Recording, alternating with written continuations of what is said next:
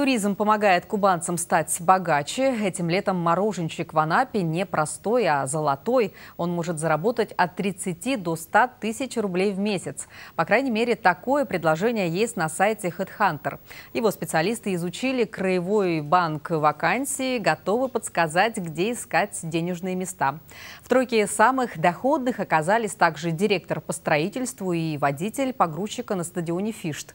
Большинство предложений о временной работе связана с туризмом и сосредоточена в Сочи. Краснодар на втором месте.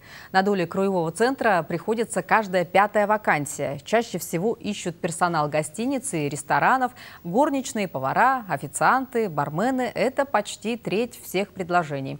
Востребована рабочая сила и в торговле. Шанс выгодно трудоустроиться есть и у начинающих специалистов.